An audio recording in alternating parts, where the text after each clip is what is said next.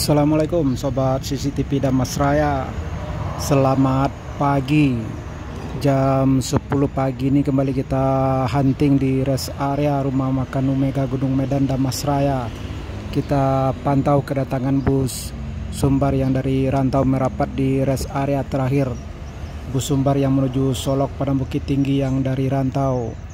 Jam 10 pagi masih terpantau Rumah makan Omega sepi dari bus sumbar yang masuk dari rantau.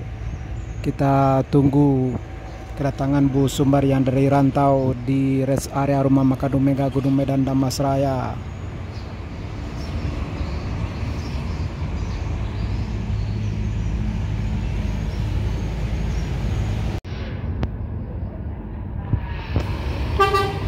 ANS dari rantau Nopin 45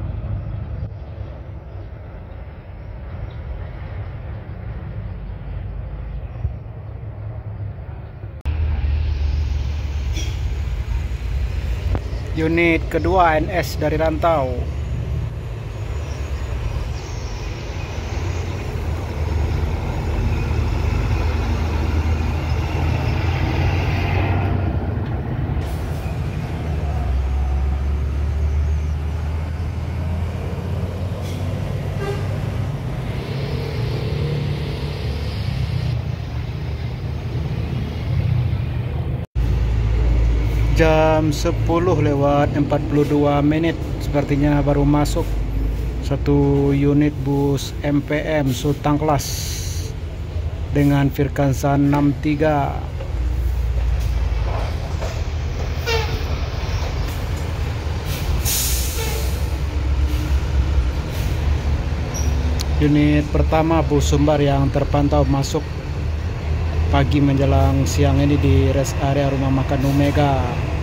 MPM Firkansa 63 Sultan Kelas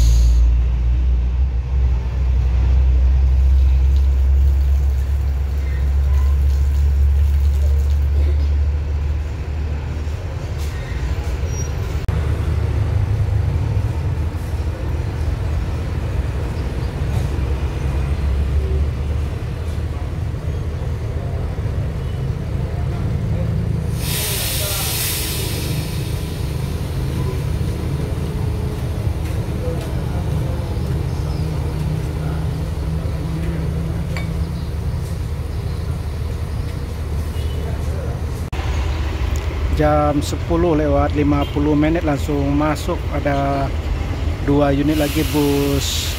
Satu unit MPM eksekutif dan satu unit Al Hijrah yang baru merapat di rest area rumah makan Omega jam 10 lewat 50 menit. Sudah tiga unit bus sumbar yang dari rantau merapat di rest area rumah makan Omega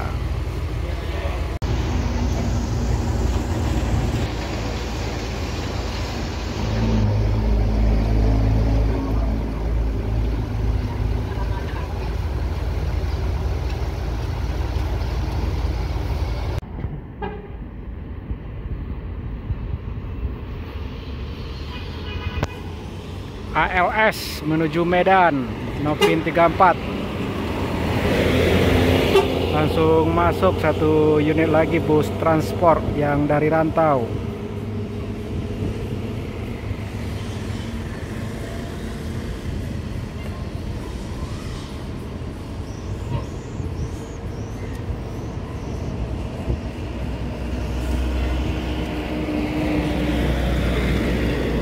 transport Nopin 55 dengan Hino RM280 yang koneksi dengan Bejo tujuan Jawa Tengah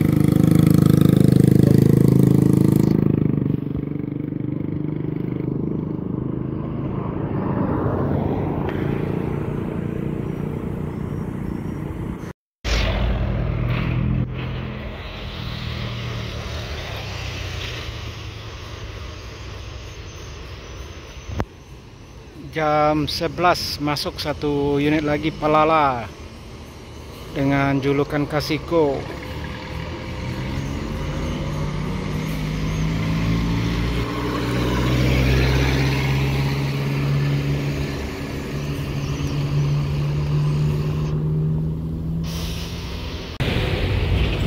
Jam 11 25 menit masuk satu unit lagi Firkan 175 Sultan Class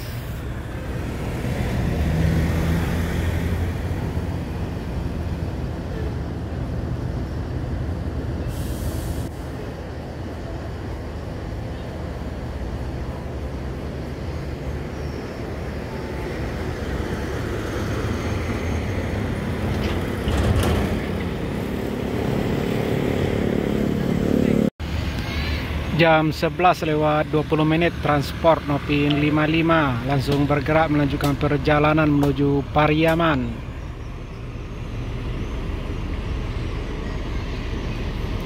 Oh sepertinya pindah posisi parkir. Ada beberapa penumpang sepertinya yang belum naik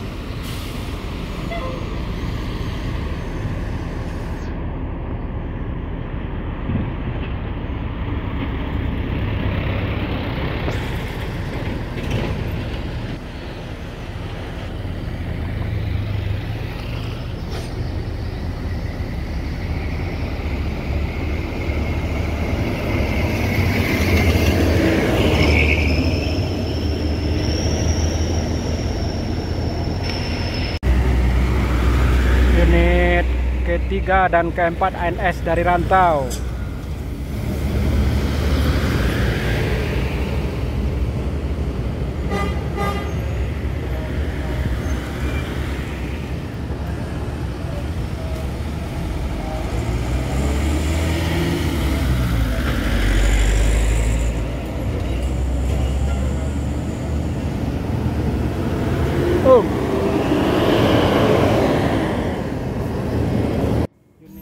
Informasi terbaru dari bus ANS ANS Luxury Class hadir melayani rute baru. Jakarta Bandung Padang Lubuk Basung. Per tanggal 4 September 2024 ANS Luxury sudah melayani rute Bandung Padang Jak Padang Lubuk Basung. Melayani perantau Minang yang akan menuju Jakarta Bandung dari Lubuk Basung pelebaran sayap dari ANS Luxury Class. Semoga semakin sukses. Dan dua unit bus sepertinya langsung bergerak. Transport Express Jaya dan MPM Firkansa 63 yang unit pertama tadi yang baru masuk dari rantau langsung bergerak bersama transport menuju Solok Padang Bukit Tinggi Pariaman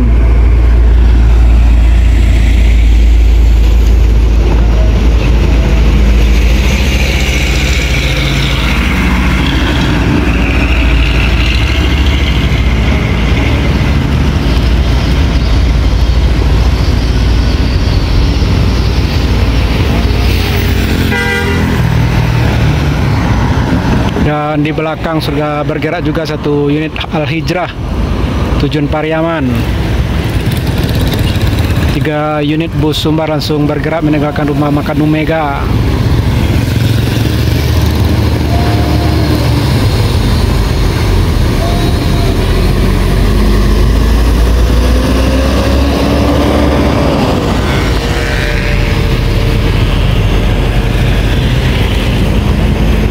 transport dan Hitra sama-sama menuju Pariaman.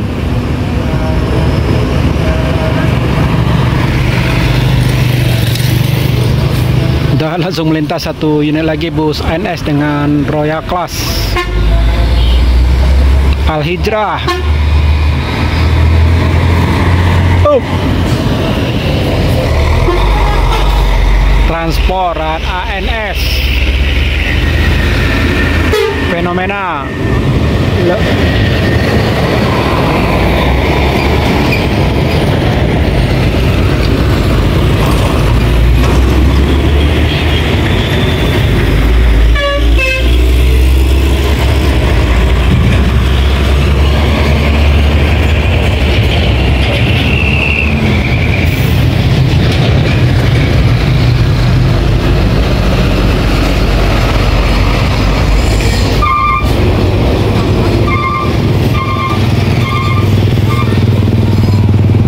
sepertinya bus baru tidak mau kasih jalan.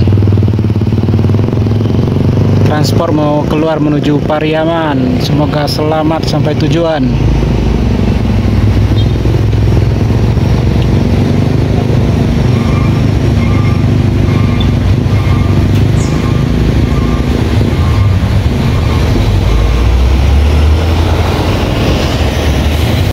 jam 11 lewat 51 menit bus Palala. Sepertinya akan melanjutkan perjalanan dan terpantau penumpang sudah kembali menaiki bus Palala Kasiko unit ketiga bus Palala yang masuk dari rantau. Dan MPM Firkansa 16 eksekutif juga langsung bergerak meninggalkan rumah makan Omega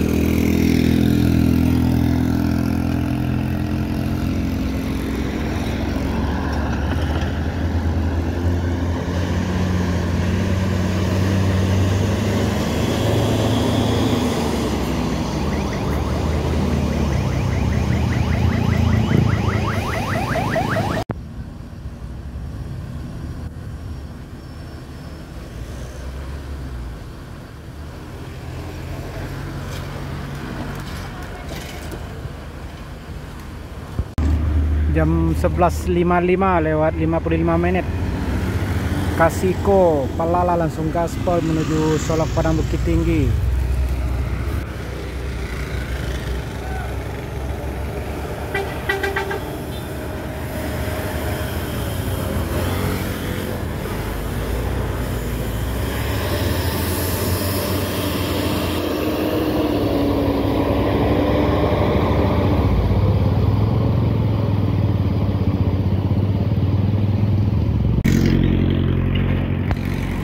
unit terakhir bus Sumbar yang terpantau siang ini meninggalkan rumah makan Numega yang dari rantau